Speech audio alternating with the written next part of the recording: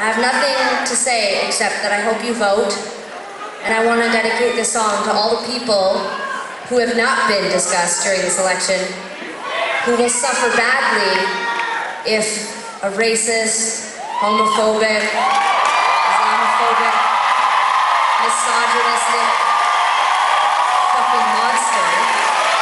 is elected.